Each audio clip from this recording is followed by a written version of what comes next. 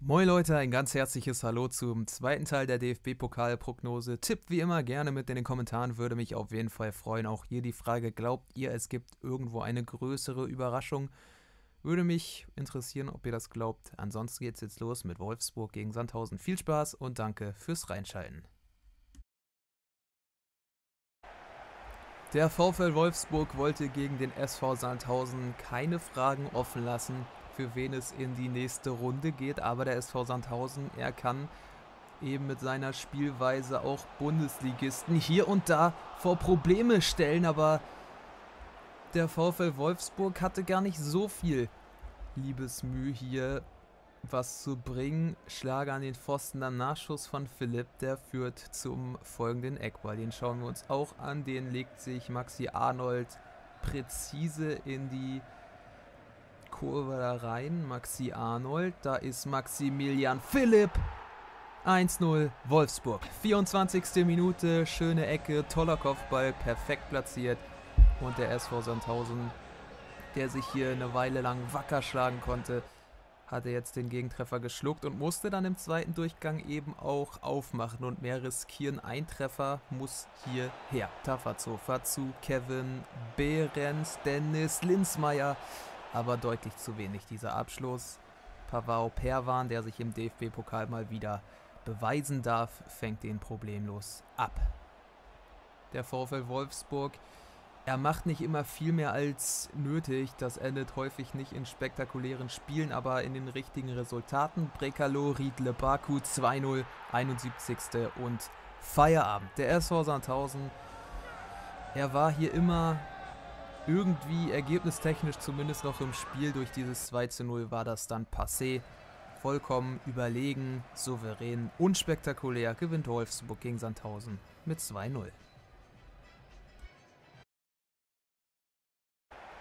Der SV Wien Wiesbaden, er setzt sich regelmäßig gegen höherklassige Mannschaften durch. Jetzt wollte man gegen den SSV Jan Regensburg das nächste Schnippchen schlagen. Philipp Tietz, wunderbarer Ball zu Marvin Ajani.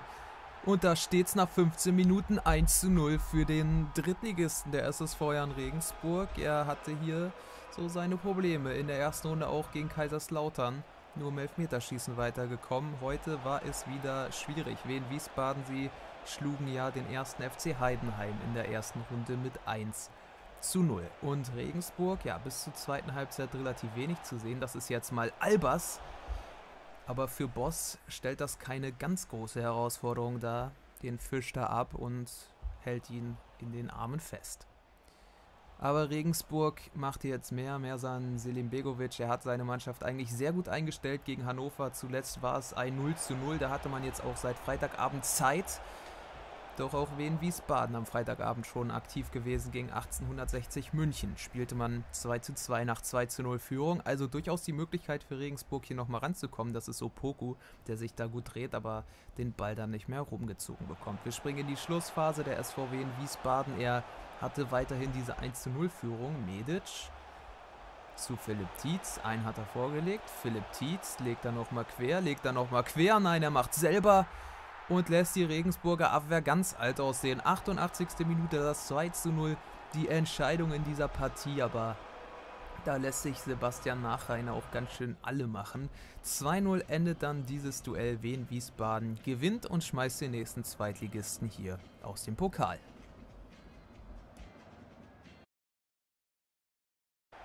Das Don't Call It a Derby, Derby zwischen dem VfB Stuttgart und dem SC Freiburg hatte schon sowas wie Highlight-Züge im DFB-Pokal. Zwei Mannschaften, die für ihre spielerische Klasse aus relativ wenig Möglichkeiten viel aufbieten können. Und hier und hier in der 18. Minute ist es Kulibali, der da mal aus Spitzenwinkel zum Abschluss kommt, aber Florian Müller nicht vor große Probleme stellt. Der SC Freiburg, er hat sich mittlerweile in der Bundesliga gefangen und apropos Bundesliga, der VfB Stuttgart hat hier eigentlich noch eine Rechnung offen. Das erste Spiel der Bundesliga verlor man gegen Freiburg mit 3 zu 2 und auch hier erstmal die Gäste in Führung. Vincenzo Grifo nach 29 Spielminuten mit dem 1 zu 0 für die Gäste aus dem heiteren Himmel zu diesem Zeitpunkt.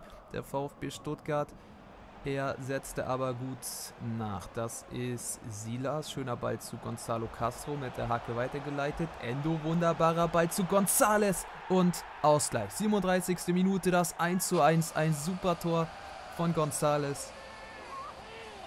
Schöne Direktabnahme. Schöner Aufsetzer. Und gar nichts zu halten für Müller. Zweiter Durchgang. Der VfB Stuttgart war hier schon die bessere Mannschaft. Koulibaly. Und da kommt Gonzales angerauscht und erzielt fast das 2 zu 1 per Kopf. Unter Gegnerdruck und dann ganz knapp über die Latte rüber. Der SC Freiburg hatte aber auch den ein oder anderen Nadelstich zu setzen. Santa Maria, Höfler, Demirovic, Santa Maria nochmal. Viel Platz jetzt für Christian Günther. Christian Günther scheitert aber an Kobel. Ein zu zentraler Abschluss den Kobel dann abwehren kann, so dass es weiter in 1 zu 1 stand.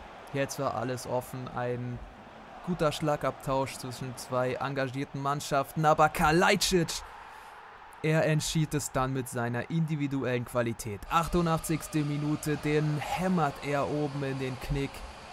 Nicht zu halten für Müller, super Treffer mit dem entscheidenden Esprit. 2 zu 1 gewinnt der VfB, revanchiert sich dafür für die Pleite am ersten Spieltag gegen den SC Freiburg. Hannover 96 erlebt in der zweiten Bundesliga ein ständiges Auf und Ab. Da hat man gehofft, sich irgendwann mal stabilisieren zu können, aber zu Hause mittlerweile ist man auch nicht mehr ganz sattelfest. Zuletzt aber gegen den VfL Bochum war es ein überzeugendes 2 zu 0 in Regensburg, dann ein 0 zu 0 der SV Werder Bremen. Der SV Werder Bremen, da kann man Lieder von singen. Es ist nicht die beste Hinrunde, die man spielt. Wahrscheinlich sogar eine der schlechtesten, aber hier gegen Hannover 96 hatte man durch Augustinsson dann die erste Möglichkeit und der SV Werder Bremen, er zeigte jetzt mal gegen einen qualitativ schlechteren Gegner, dass er eigentlich auch spielerisch was drauf hat. 16. Minute, Leonardo Bittenkurt bekommt da zu viel Platz geschenkt. Aus 11 Metern lässt er dann Esser keine Chance. Esser, der am Wochenende noch verletzt fehlte, jetzt war er wieder dabei. Der zweite Durchgang, Sie sehen es an der Zeit, wir sind schon über der 80. Spielminute, also aua aua. Ganz toller Fußball wurde einem hier nicht geboten. Jetzt aber Hannover 96 mit der Schlussoffensive. Marvin Duksch Schöne Flanke zu Haraguchi. Das dauert aber ein Stückchen zu lang und dann ist Augustinsson da, 85. Minute. Den anschließenden Eckstoß, den sollte man sich aber auch nochmal betrachten. Kopfball, Hübers, aber drüber. Das, was ein spannendes Nordduell hätte sein können nach gutem Beginn, hat dann Bremen alles zurückgefahren. Da kam gar nichts mehr, aber Hannover 96 war dann in den Möglichkeiten limitiert und verliert mit 0 zu 1 durch das Tor von Bittenkurt in der 16. Spielminute.